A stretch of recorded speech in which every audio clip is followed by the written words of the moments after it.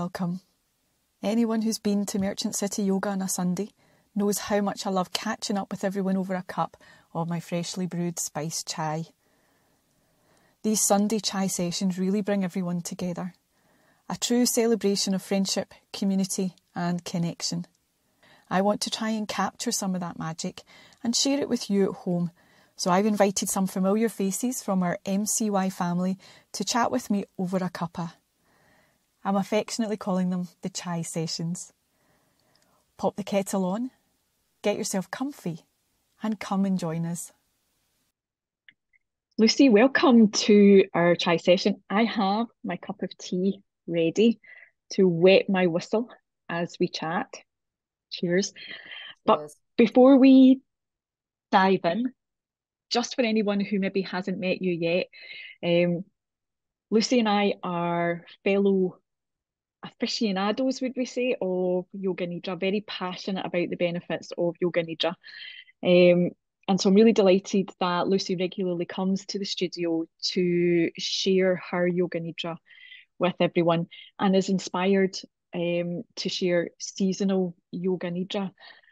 Anyone who has been to, to any kind of number of classes with me will at some point have heard me say, Lucie, that I think deep conscious relaxation is really underrated and actually might even be getting a bit lost in kind of the, the modern yoga scene. You know when classes are getting shorter um you know people are attending classes in gym for example so there's a really fast turnaround. You know i remember when back in 19 canteen when i started yoga there was at least 20 minutes if not longer, at the end of class dedicated to um, some form of guided relaxation. And that's just not the case now. Um, so, like I say, I'm really excited that you come to the studio and share these extended um, yoga nidras, and I'm excited to to have you here to to do a bit of geeking out because I know every time you come in, we we do a little bit of of geeking out about yoga nidra.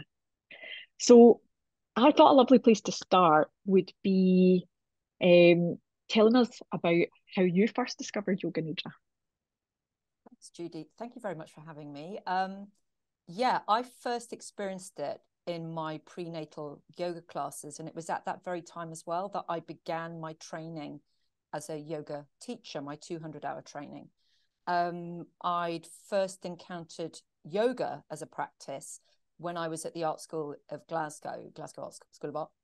And um, had had come from burnout in my mid to late 20s i was um, working in a company that most well i would say most of us have heard of i'm not going to say it but um, in marketing and it just was not my vibe but it was good. You know sometimes you need to um, fall on your face to, realize that you're falling on your face and it's not right for you. Anyway so you know jump forward um, however many years i don't know 12 something like that.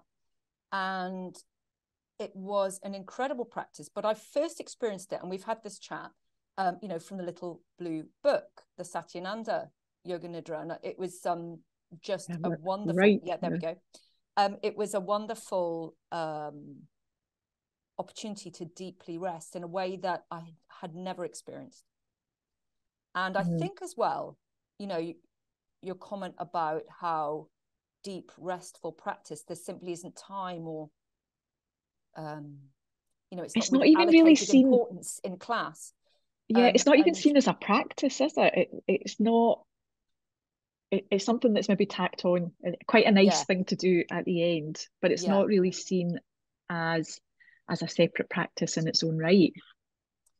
Well, the way I view nidra is it it is it suits coming after physical practice very well. If you think about the five koshas, you know, we start with the gross, the Annamaya kosha, then we're working with the Pranamaya kosha, and then we go through, you know, all of the different states. And actually, you know, if all you do is have a quick um, lie down, or not even that, or 10 slow breaths, and then you're out the door. And and don't, you know, like, don't get me wrong, I have classes where we're limited with time and people come because they need to physically work with the bodies and the breath and that's you know I, I don't diss it because I love it you know of course we love it yeah but, um, and that has benefit you know there's definitely yeah, value totally in that but it's that deep rest either at the end of class, well, seem to be at the end, which is actually all of the stuff we've done beforehand in class is preparation for that moment, for that practice.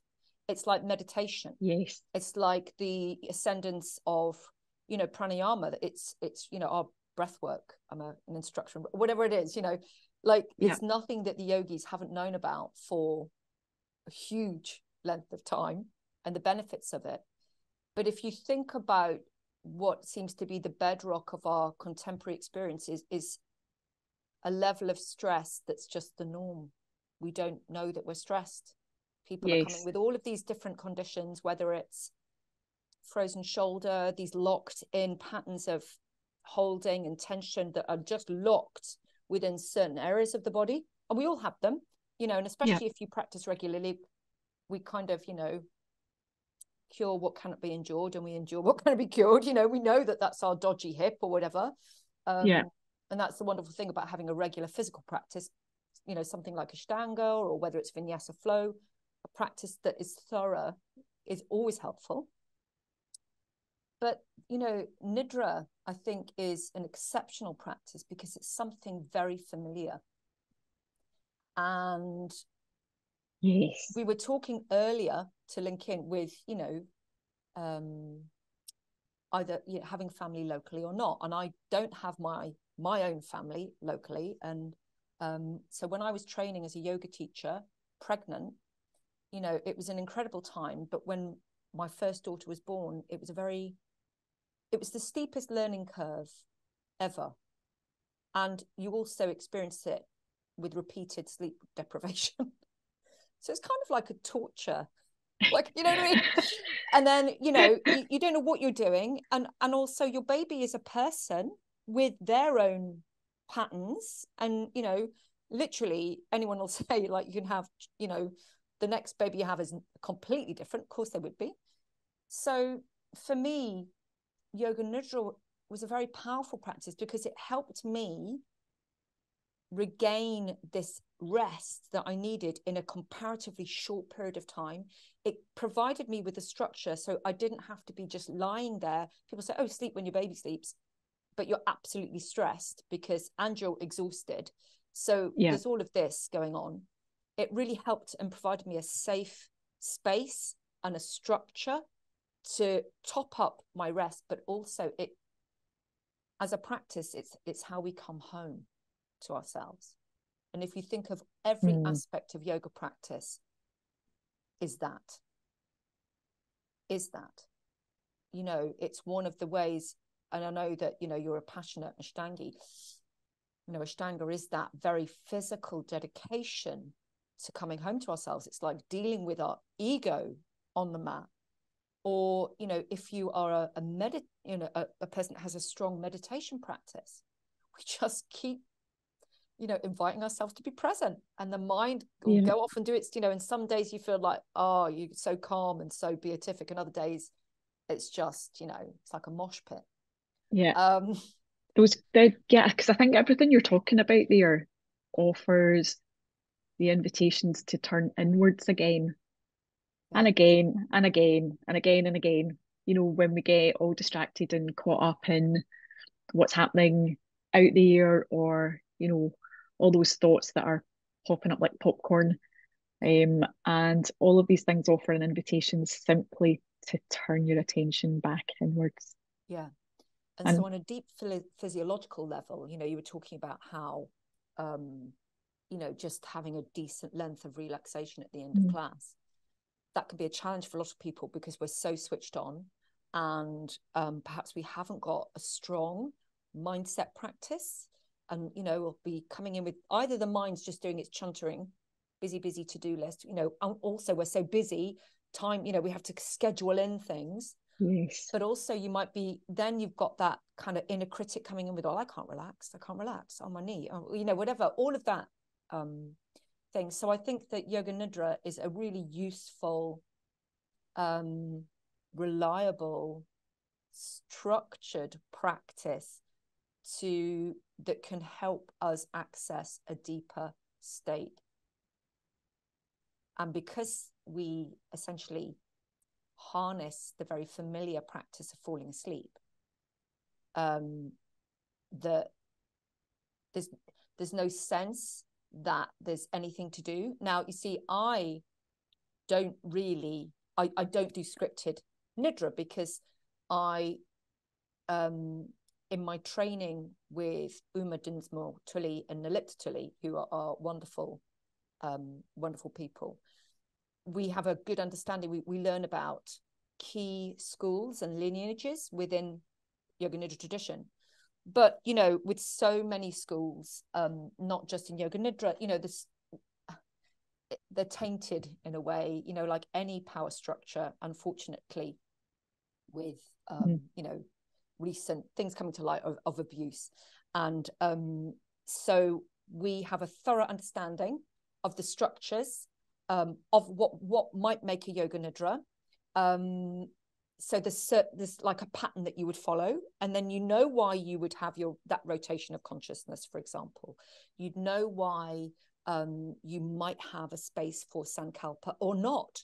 I often don't because i also feel that we i don't know if i'm of a certain age don't even remember crackerjack and there'd be like the cabbage game at the end and you get to play it and either you get a massive board game you know 1970s early 80s like that's what the kids was a good gift for a kid or you get a cabbage and then you'd have this massive pile of things and if you dropped anything uh-uh you didn't get it and I, I love that you're remembering it in so much detail. I also remember it too, maybe not in quite as much detail. yeah. So, for example, a sankalpa is another thing to be doing. Yeah. And Nidra is an invitation to simply be. And so if we look at the evolution of, of what it means, Nidra, sleep, a yogic sleep, this sense of using it to better ourselves is a recent, and, and, I, and I don't diss it, is a recent, you know, from the 70s, which is when Satyananda evolved their technique of Yoga Nidra but actually historically there was a sense of having nirvikalpa, having actually a settling so much, an internalizing so much that we are simply being. And if you look at what can happen neurologically whilst we are experiencing yoga nidra, all of those wonderful brainwave states that we go through in sleep, we can experience in the practice. So it is useful to have a sankalpa, but it's not essential. It depends what it is that you mm-hmm. need out of the practice. And often, you know, I, I look around the room and I just see all of all of these people. We're all trying to do our best all the time. And wouldn't it be lovely if literally it was an effortless practice? And and that is how I lead the nidra. And um, you know, I, I've chosen that it's funny because I'm published on Insight Timer, so people are very welcome to uh, follow me on that. There's loads of different lovely seasonal elemental nidras there, um, and I'm going to be doing some more, you know, stuff there too. Um, and the wonderful thing about having say something that's seasonal that evolves with the year is it often really supports and reflects back to you how you're feeling energetically, and that can mm-hmm. feel like something that's very supportive, not just uh, this is Nidra and this is how it needs to be, which also has its place because we can talk a little bit yeah, about Nidra as a hypnotic trance um, practice and yeah, the similarities and differences it has to say clinical hypnosis. Like, you know, Satyananda yeah. saying it's not you hypnosis know, it's... is a kind of we can explore that too if we want to, but it definitely is a trans um, thing. But yeah, so that's why if you were to come to one of our sessions, it might be a bit structurally different. Well, it, I would imagine it would be because I not only reference Satyananda School, I reference and draw from the iRest Institute, which is an incredibly important um, recent uh, school um, evolved by Dr. R- Richard Miller, and he's worked with the American military looking at PTSD you know so yeah his is, book's very helpful as well. Yeah and it's concise and he's got some lovely recordings as well. Um yeah.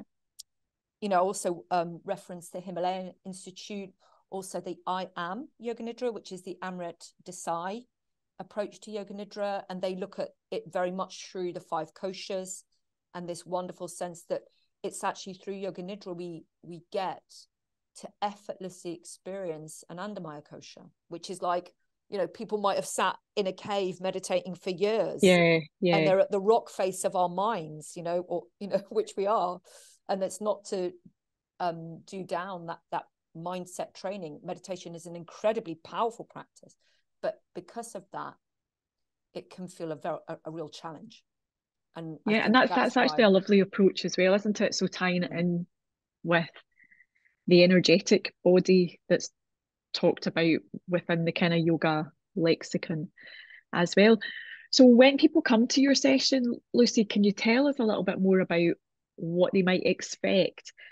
Because um, I know certainly if they've practiced with me, I'm a bit old school, um, and I actually love the structure and repetition of like Satyananda and Bihar's approach, and I think that possibly comes from you know how we tend to love one of our first exposures to it, and I was so fortunate to um, attend a weekend workshop with um, one of the teachers from the Bihar um, Institute, actually way before I discovered Ashtanga yoga.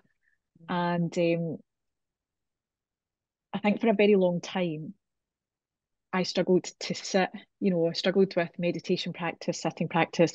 That's clearly one of the things that appeals about an Ashtanga practice because you're moving and it's really strong and dynamic.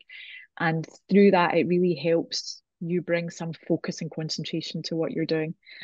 Um, but I was fortunate enough to discover yoga nidra before getting caught up in the Ashtanga. And so it's always been for me a really, really valuable counterpoint to that. And I've always felt that the really strong physical practice is an excellent preparation for then going on to to take a nidra practice. But I think it probably says something about my psyche as well that that the Ashtanga practice and the Satyananda approach to Yoga Nidra, they're fairly structured. There's a consistency through each practice.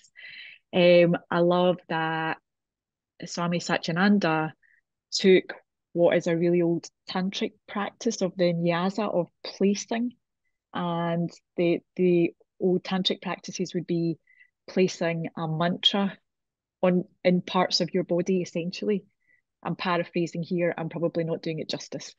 Um, and what he did was he wanted those practitioners who didn't have experience of Sanskrit mantra to be able to get the benefits of a practice like that. So he kind of simplified that a little bit and developed this rotation of consciousness, you know, rotation of awareness around the body. And so, like I say, I'm not unaware that these are two quite structured practices that probably say a lot about me. So anyone who's practiced with me, that's that's the kind of approach that I bring to and, and I find real value in. So maybe tell them a little bit about what to expect when they come to one of your sessions.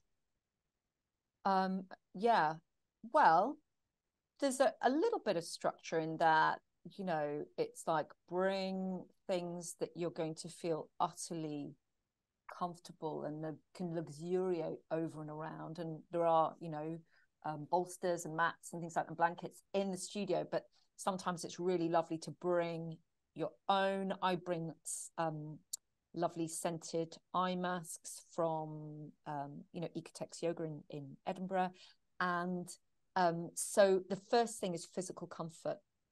Um, and, and also that sensory thing about that as well. There's something around using yeah, I mean, senses there. Yeah, having time to physically settle to really allow that you know what it is to be that person or or me you know i am very tight up my back and when you're for example so just having that time to to settle and the layers of tension start to slowly release um, and then you know just bringing the awareness to the breath is a really important so if you think about you know that's annamaya kosha then pranamaya kosha just that gentle ebb and flow of the breath and it can be in a way that just feels really reassuring. Now, I don't read a script. I might have a little map like a little, you know, mind map, um, especially if I've got two different ones and I would like to just include things.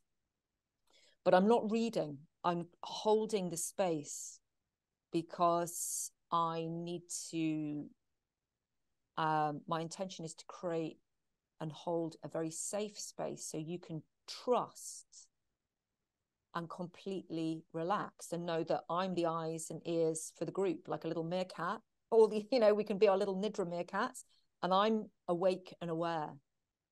Um, I also, in my visualizations, I tailor them to the natural world and I make sure that I have, you know, a lot of anchoring back, being in our bodies on the floor in the room, because I don't know what people's histories are. And when we work on the level of visualizations, a lot of them could potentially be triggering. Yeah. So, you know, I'm responsive. It's a dance, as it were, that's um, crafted for everybody's well-being um, so that we can sink deeper and deeper into a really reassuring deep relaxation which switches us into our rest and digest where we can you know you might even sense that you drift off somewhere. Um, you might not. You might feel that you're alert and awake for everything. And then actually when you come out of it people will be talking about a part of the practice and you're like well what part? I don't remember that you know? There's also oh that classic i'm sure they didn't do the left hand side thing.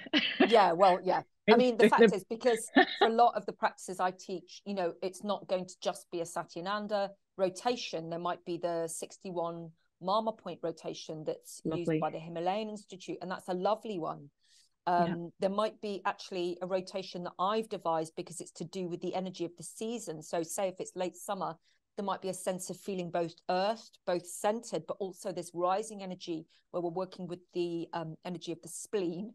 And it's to do with our immune systems. So there'll be a reason why there's a structured rotation of consciousness, but there will be a rotation of consciousness, if that makes sense. So it's like yes, taking the specificity, if that's the word, of say something that say your your um, students may have experienced a certain form through Satyananda there are many forms of rotation of consciousness. So it's like taking yes. a step back, know that that will definitely be an element of your practice, but it might be different to the one that you've experienced.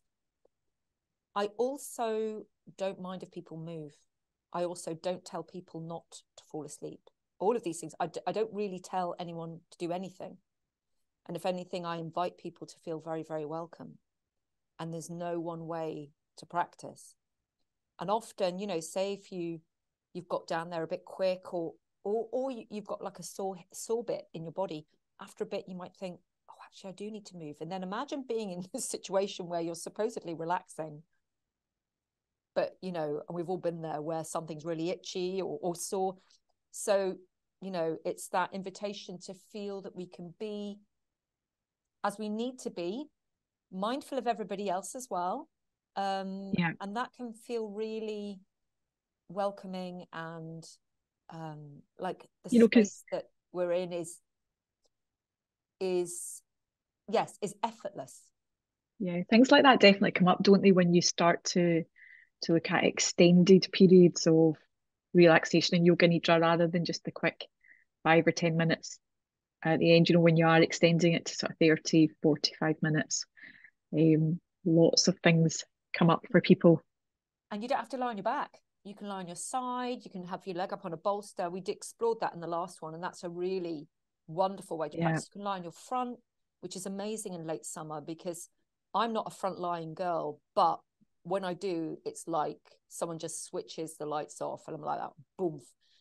And it's something to do with obviously the way that the pressure through the body, you know, is coming through the the front of the body into the earth, that relationship with gravity, um, and you can think of all of the physiological reasons why but energetically it's just ooh, amazing um, and it's good that you brought up the different lengths of practice so for example depending on the season um, we'll um, have practices generally i'd say are about 22 to about 27 minutes and um, much of that is to do with our rhythms that we go through with brainwave states when we sleep. So it's like a 90 minute rhythm, and then you can cut that in half, and then you can cut that in half again.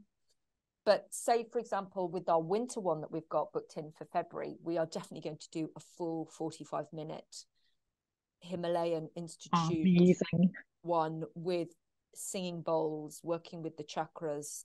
Um, the one in um, the one in late summer, we're going to use my little beautiful German engineered sansula um, and some chimes. So there'll be like um often I use sound. And one of the reasons being is that the practice of yoga nidra, if you look at it elementally, it's um very much a a water practice. think, what does that mean? Crazy lady. Well, in, the water not um, at all energy lines um, are those associated with this um, with winter, and they are the ones to do with the bladder and kidneys. So that sense of feeling at home, safe or not. And so we spoke earlier about the fact that often we have a level of stress that's just normalized within us. You know, a level yeah. of anxiety yeah. that we might self medicate with coffee, with chocolate, with workouts, with whatever, but it's the busyness just trying to kind of, you know. And um, so when we work on this very deep level, um, yoga nidra, you know, it, it, it's working on that deep soothing. So the body is in deep rest. So we can then really nourish the body. The blood starts to go to the organs rather than being stuck in the muscles. Um, those patterns of habitual holding and tension that we all have in our body like you know it's like rigging the way that our ship we sail our ship through each day that has an opportunity to start to soften you become perhaps aware of it you know it's like you might have tension in the shoulder because that's always where you carry your bag or that one and then in yoga nidra you're lying down in a mindful practice long enough that you think oh gosh actually and then it can just release um as I say, we're experiencing these very important um, ebb and flow of different brainwave states. And actually, with each brainwave state, there's a release of really helpful hormones and neurotransmitters in the body that really help us feel good, can really boost our mood. So if you're, you know, struggling with stress and experiencing that in different ways, um, then yoga nidra is this incredible, potent, and I would call it a sleep practice yeah. And that's why I love it. Yeah. So I think just to pull everything we've spoken about back together again, and I appreciate a little bit of what you've just said, maybe um, anticipated my question. But I just wondered what you think the most significant benefits of Yoga Nidra are. Stillness the invitation, as I said, to come home to ourselves. Because essentially and eventually, that's exactly what we're all going to do. That's the one certainty in life. And I, I think as a physical practice, you know, how it helps us physically cannot be underestimated. You know, you may I've had clients who've got so many different health issues, or you know, ongoing health issues, and actually, yoga nidra is one of the most accessible practices, and it's such a reassuring and deeply, you know, really helps. I think health and well-being on a physical level, on a mental health level, and on an emotional level, and it's the one thing that increasingly societally we're sleeping less and less. We're on our screens so much more. So it's a it's a really good um you know um counter practice to our daily habits but yes I, I really believe that it opens up a sense that we can just be and uh, i think that really essentially especially if we're yogis that's that's the real draw of what the why well i think that is a perfect place to stop lucie thank you so much for having the chat and I'll see you soon. Thank yeah. you. Thank you for having me. Thank you so much for joining us. I hope you enjoyed our chat. If you've got any questions, you can email me or find us on social media. I'll see you here next time.